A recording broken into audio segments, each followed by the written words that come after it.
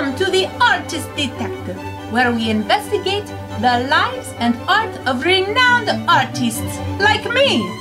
I am Rembrandt van Rijn, the well known, or shall we say, world renowned painter, who is known as a Dutch master from the 1600s.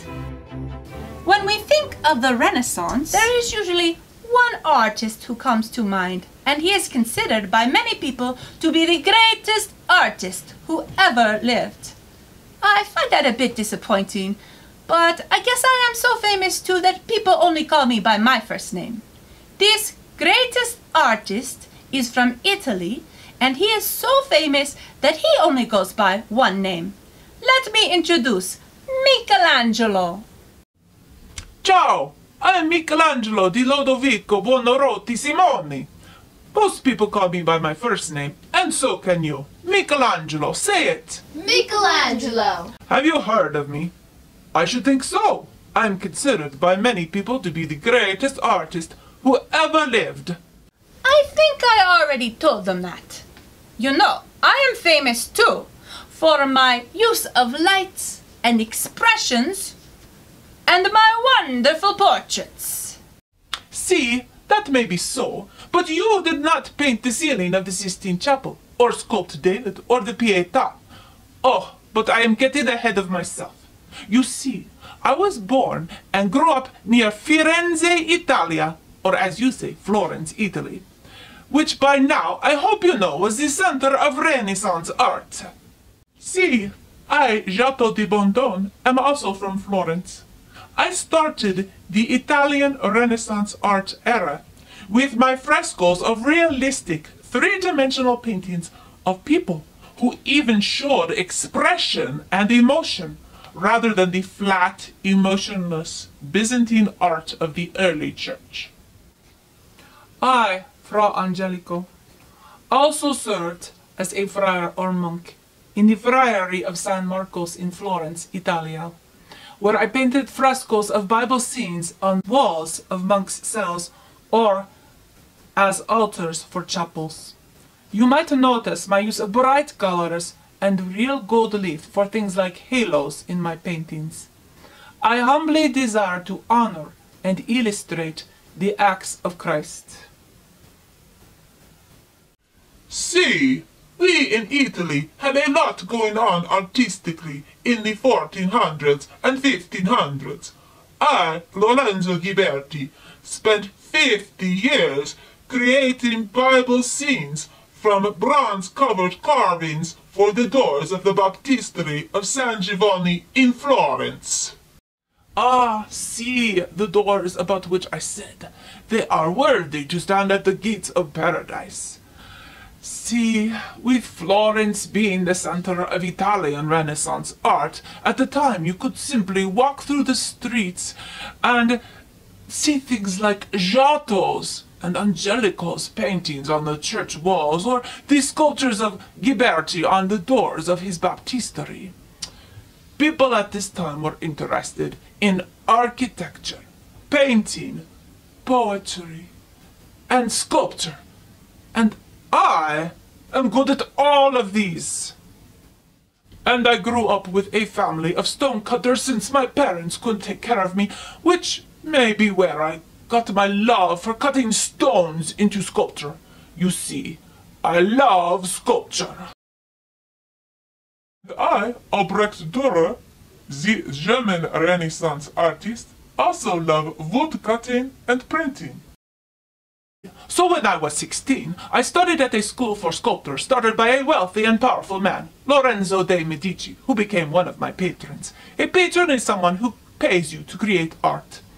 So I had another patron from Rome who paid me to make a sculpture of Mary holding the crucified Jesus. It is called the Pietà. Everyone who saw it was amazed. It is now in St. Peter's Church in Vatican City in Rome. You know, where the Pope lives. Another one of my famous sculptures is of David when he is getting ready to fight Goliath.